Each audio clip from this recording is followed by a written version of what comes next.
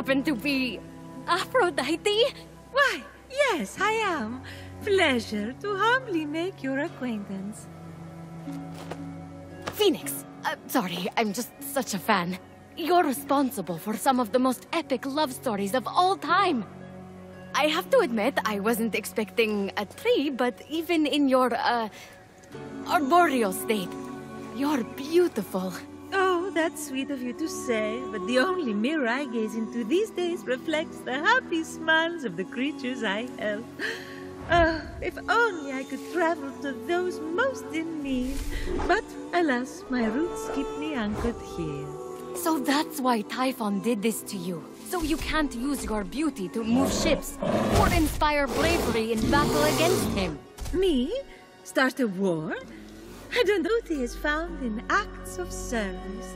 True love is the giving of yourself to others. The name Aphrodite should have stood for those things all along. She did not just say that.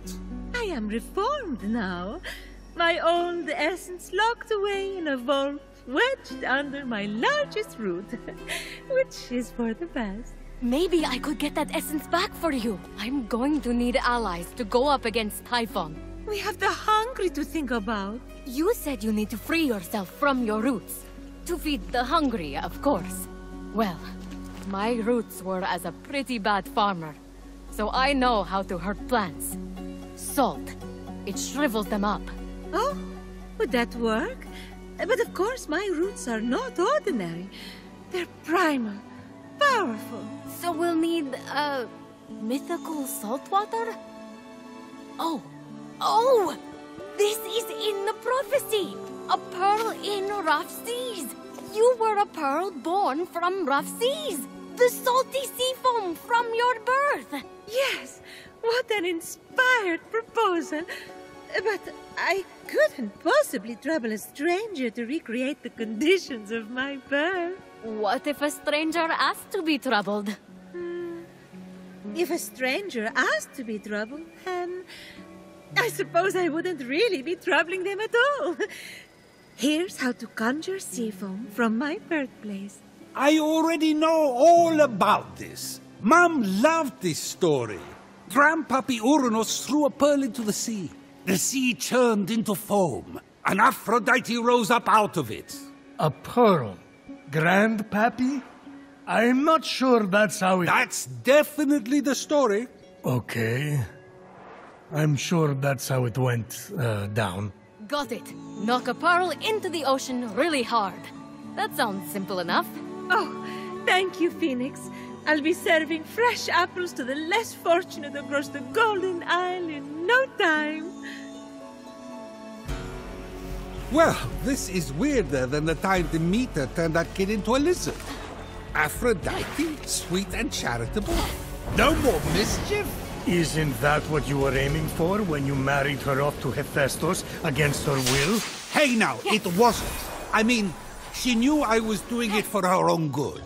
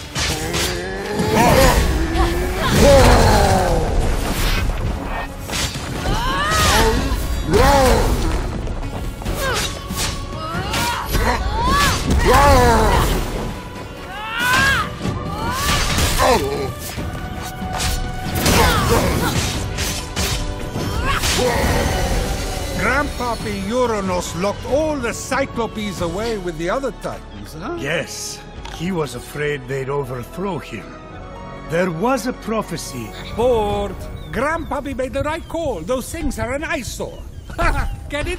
Uh, the birth of Aphrodite is a gruesome tale. Nothing gruesome about it. Grandpappy Uranus and my deadbeat dad Kronos had a battle so great it severed heaven from earth. That's not all that was severed. During his surprise attack, Kronos descended on Uranus. When earth was severed from heaven, there was a great earthquake that knocked a pearl. Hang on, there was no... Ah, the pearl flew from its oyster on land, and Uranus caught it and flung it out to sea with such a force that it caused the frothy foam to bubble. Ah.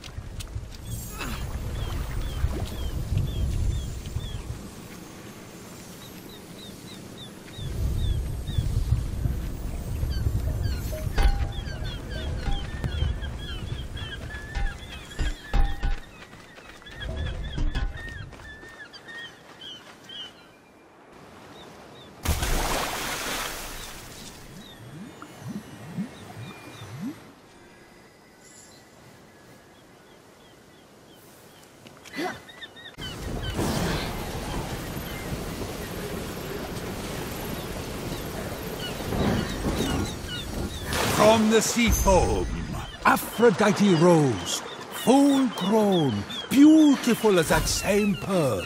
I can't take this anymore. Zeus, Gaia lied to you about how Aphrodite was born. Oh, yeah? Then tell me how it really happened. And Kronos, they fought. You can't be serious. Fell into the sea. That's... Because Kronos cut off his... You're sick, Prometheus! Do not talk to me! With the sea foam secured, Ah, Fenyx resolved to return to Aphrodite with the key to her freedom and the vault.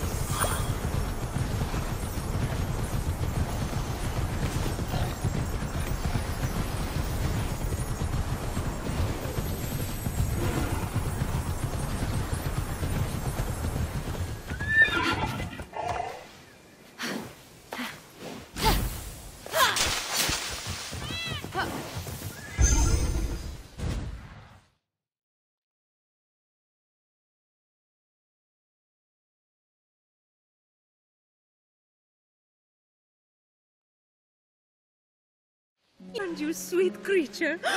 Do you have the sea foam? Right here. Oh, aren't you good?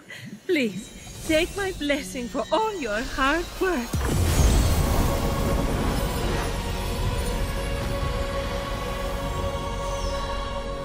Now quick, pour the foam on my roots. The sooner I can move, the sooner I can expand my apple care. Did it work?